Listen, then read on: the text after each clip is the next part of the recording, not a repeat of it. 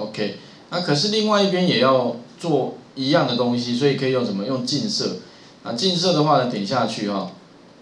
那物件的话，就是把这些选取起来，包含这一条线，好这边，然后按空白键，把这边，然后拉一条对角，啊，直接到这个端点到这个端点，好，空白键一下。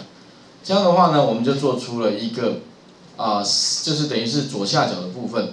那接下来的话呢，我就让它怎么环形阵列？因为呢，环形阵列选物件的话，就把除了那一条线之外，因为这一条线，哎，哎，不过。这个这这个地方不用，应该好像还多一条，这一条线应该不用，因为将来这个地方本也有哦，所以这个这条线可以把它删掉，好留这样就可以了哈，然后再来一次，啊，我们环形阵列，然后把这边的部分选取起来，按空白键，然后中心点的话就这个，OK，然后总共四个，三百六。，OK，然后 Enter 一下，那最后的话呢哈，把这一条线可以把它删除掉，这一条线不用。那最后呢，这个地方呢，哈，因为我们等一下，我看这个这个会做后续的动作，所以要把这个地方哦，把它再把它做一个分解，啊，分解，否则它有有些线段它等于是变成一个图块了，啊，你要做后续处理就会有问题。那再来的话呢，我们里面要放个什么多边形，这边有放一个什么呢？放一个这一个呃多八边形，而且八边形特别注意哦，这个地方哦。我们如果说要把这个地方刚好放这里的话，你特别注意哦。